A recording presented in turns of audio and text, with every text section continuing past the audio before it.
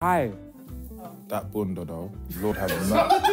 Look, it's hanging off the fucking trouser piece. Are you nuts? You have to say